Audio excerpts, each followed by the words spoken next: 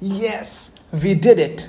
This is a normal reaction after procedure, right? But before going ahead with any kind of procedure, you need to know the anatomy.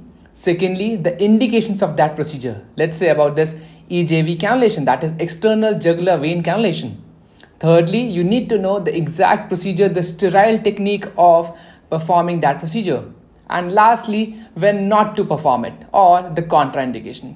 So I will talk everything about external jugular venous cannulation in this video. Keep watching till the end.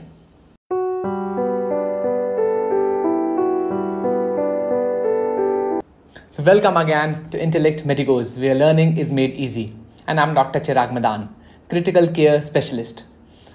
So starting with the anatomy of EJV, that is external jugular vein, right? So it, as you can see in this uh, diagram, that retromandibular vein combines with your posterior auricular vein to form EJV and this runs obliquely in your neck and drains into subclavian vein. And this runs this EJV runs anterior superficial to your sternocleidomastoid right?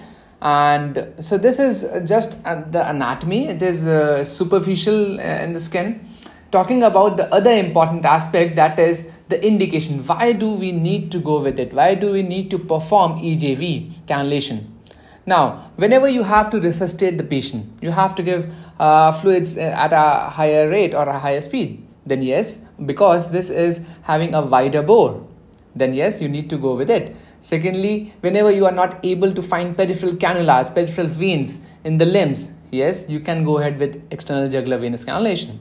Thirdly, whenever you have to administer somewhat hyperosmolar medicines or fluids, right? Let's say 3% normal saline, or let's say your uh, vasopressors, right? Noradrenaline or vasopressin, but that too on a lower side. Whenever the requirement of your vasopressor on a higher side, you need to go with central venous catheter that is inside your IJV, internal jugular, not the external jugular right? So uh, and uh, giving the blood and blood products. So these are the few indications where you think yes you can go ahead with ejv cannulation. Now coming back to the actual procedure or the sterile manner. First remove the pillow if any. Lower down the head end of the patient uh, or put the patient in Trendelenburg position and you can see the prominent EJV very beautifully right now clean the area with a gauze piece. So gauze piece with the antiseptic and clean this area in a circular manner as shown so that it doesn't get infected. Now you have to select a cannula. In this video I've used 16 gauge. You can go ahead with 14 gauge because of this prominent vein. Now you need to occlude the EJV just above the clavicle so as to make it more prominent and I'm checking the side of entry and I'll insert it and move it very superficially and we'll check the blood in the hub. As soon as I've seen, I've taken out the needle and proceed inside with the catheter without any resistance as shown. And then you need to check the backflow. Yes, you can see the backflow of the blood over there. Then you need to cap it, secure the cannula and now you need to check whether you are inside the vein or not. So check with the flush, with the normal saline flush, whether there is any kind of swelling or not or whether you can flush it without any resistance right? Yes the the cannula is in the vein. Uh, the last part is obviously the dressing.